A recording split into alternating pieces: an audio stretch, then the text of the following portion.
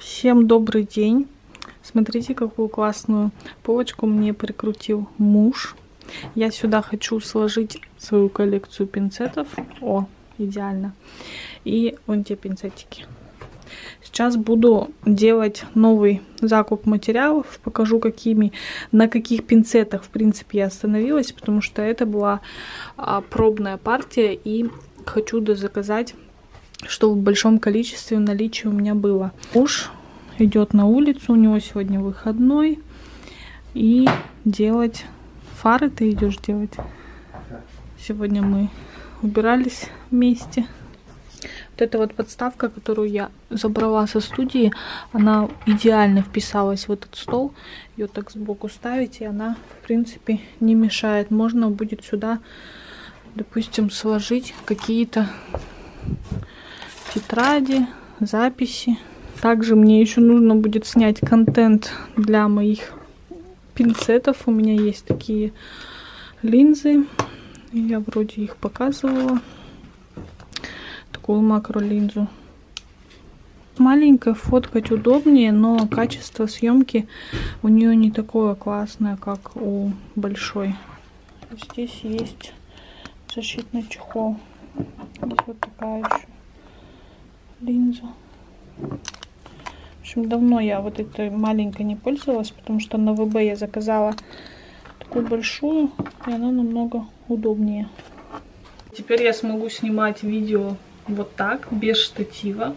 И полочка великолепно вписалась. В принципе, классно, мне нравится. Могу здесь снимать какие-то разговорные видосики. Кстати, мы хотим поменять шкаф. Вот этот на большой, 3 метра высота и 2 метра длина, то есть это достаточно большой шкаф. Они стоят очень дорого, и муж предложил собрать самостоятельно такой шкаф. Ну, посмотрим, что получится.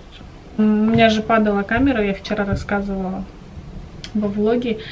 Муж просто ее починил. Не без моей помощи, конечно же. Как мы починили камеру, мы взяли за объектив и резко в разные стороны повернули. И все, в принципе, и он стал заходить. А он упал, видимо, повредились вот эти вот штуки. Как выглядит примерно объектив в открытом виде. И он раскрылся при падении, стал вот таким. И он не закрывался. Мы, соответственно, вот этот объектив сжали и он, короче, стал закрываться. В интернете мы смотрели, как починить объектив, и там все писали, что нужно просто поменять объектив. Объектив стоит как сама камера, в принципе, и смысла я в этом не вижу. Эту камеру я люблю, обожаю, ей уже около 8 лет. Сейчас я буду фотографировать все, отправлять своему поставщику. Кстати, нам пришел увлажнитель воздуха надо будет его забрать сегодня, и мы поедем разводить заказы. По Тюмени своим знакомым вашмейкерам, тем девочкам, которые учились у меня, я доставку делаю бесплатно. А всем остальным где-то 200-300 рублей. Также можно доставку на Авито заказать.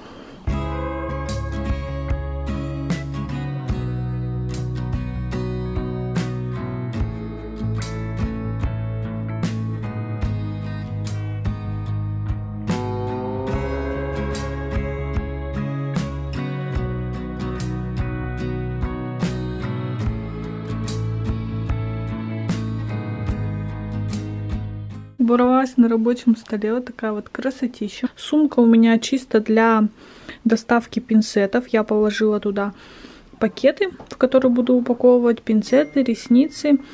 Здесь у меня тетрадочки записные, ноутбук. Сейчас я со стола еще протеру. И все, заказ я сделала. Жду, пока мне вышлют на оплату квитанцию, да, это называется так. Я думала, что у меня будет недоношенный ребенок. Во втором триместре тоже думала. Думаю, главное пересечь черту 28 недель. Потом я думала, главное додержаться до 33 недель. Потом я думала, главное сейчас продержаться до 37. Сейчас 38 недель. И я сейчас думаю, что я буду перенашивать. Не знаю, с чем это связано. Мне кажется, я в 41 либо в 42 недели рожу, потому что никаких предвестников родов в данный момент нет. Если не считать слизистую пробку, но Слизистая пробка это не показатель того, что ты сегодня там или завтра родишь. Сейчас намного сложнее мне ходить, передвигаться по дому. На улицу я практически не выхожу, только с мужем и только если на машине. Мы можем, конечно, прогуляться до магазина, до ближайшего, но потом у меня поясница вообще отказывает бандаж, который спасал от боли в спине, то есть он поддерживает спину, поясницу, Сейчас его носить нельзя, для того, чтобы гравитация помогла ребенку спускаться вниз. Мне еще не нравится, что поставщик пишет постоянно на английском языке. Нужно заходить в переводчик и это все переводить. Что в итоге я этим хотела сказать? То, что перенашивать тоже сложно.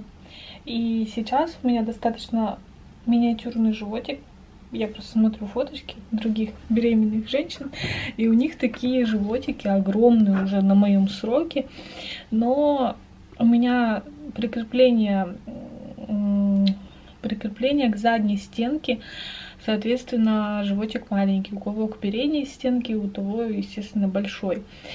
Вот, и каждую ночь Просто мне так тяжело вставать.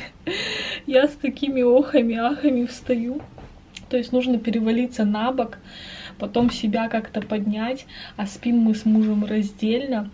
Я с такими охами-ахами встаю, иду до туалета, и так каждые два часа. Классно, что у меня есть такой заботливый муж, такой заботливый человек. И уверена, что все пройдет более чем хорошо. Будем надеяться. Врач мне ничто, ничего не пишет, который с платной больницы. С бесплатной больницы мне уже несколько раз позвонили, спросили, родила я или нет. Я сейчас в таком интересном здании.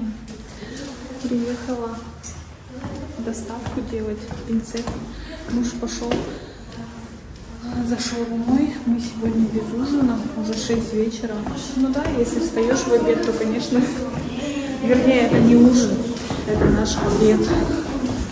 Он пошел за шаурмой. Надо будет его найти. Что-то я зашла с другого входа, выхожу совершенно другого. Непонятно, где он. Те пинцеты, на которые я вообще не рассчитывала. Я думала, эти пинцеты никому не понравятся, но на пробу возьму небольшую партию. В итоге все пинцеты одной формы забрали э, сразу. Особенно с лазерной заточкой, ой, с лазерным напылением.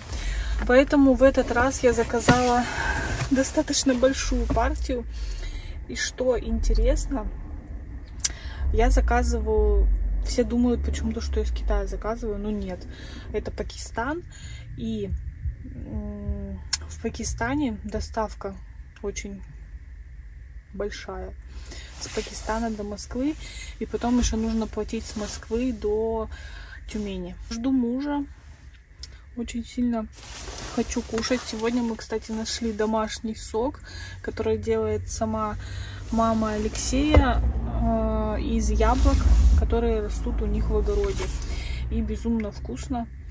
Э, эту банку трехлитровую мы нечаянно сегодня нашли. Вообще соки она крутит очень-очень большом количестве. Мы выпиваем их где-то за лето и чуть-чуть осенью. И сейчас у нас сегодня такое хорошее настроение утром было, что мы нашли домашний натуральный сок. Он, конечно же, отличается по вкусу от... Э, а, даже яблоки по вкусу отличаются от яблок, которые ты берешь в магазине. У нас есть соковыжималка, и, допустим, если а, мы сделаем сок из мужа нету, а машина заводится сама. Если мы сделаем сок из яблок магазинных, то это совершенно другой вкус. А это, конечно, вообще... Он еще концентрированный, мы его разбавляем 50 на 50 с водой. Это моя любовь. Сейчас мы будем кушать шаурму вместе с этим соком.